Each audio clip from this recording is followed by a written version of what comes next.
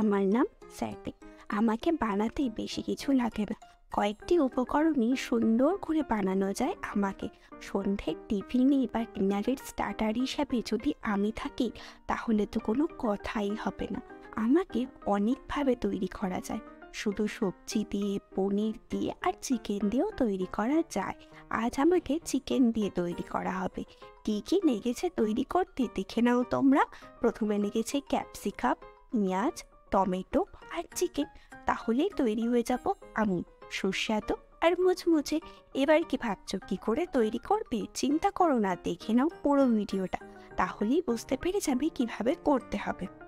দেখো, প্রথমেই চিকেনকে ভালো করে ধুয়ে নুন, লঙ্কা, চিকেন কারি, মশলা, আদা রসুন, পেস্ট দিয়ে ম্যারিনেট করে রাখতে হবে পনেরো মিনিট। তারপর সমস্ত সবজি কেটে একে একে কাঠিতে সাজিয়ে দিতে হবে। প্রথমে দেবে পেঁয়াজ, তারপর দেবে ক্যাপসিকাম, তারপর দেবে টমেটো আর চিকেন।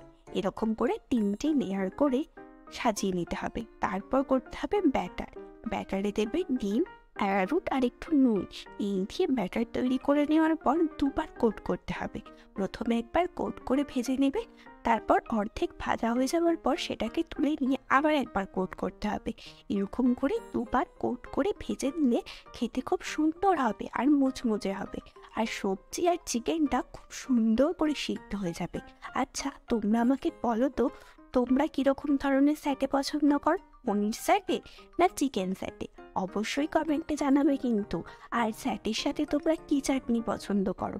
সেটা আমাকে কমেন্টে জানিও, আমি সেইটারও একটা ভিডিও করে দেওয়ার চেষ্টা করব। দেখো, গল্প করতে করতে তোমাদের স্যাটে কিন্তু পুরোপুরি রেডি হয়ে গেছে। কি দেখছ? বানিয়ে ফেলো বাড়িতে। আর এটাকে সার্ভ করতে পারো। ধনে পাতার চাটনি বা টমেটো সসের সাথে। তোমাদের যেটা ইচ্ছে সেটার সাথেই খেতে পারো। আর ভালো লাগলে একটা কমেন্ট আর লাইক করে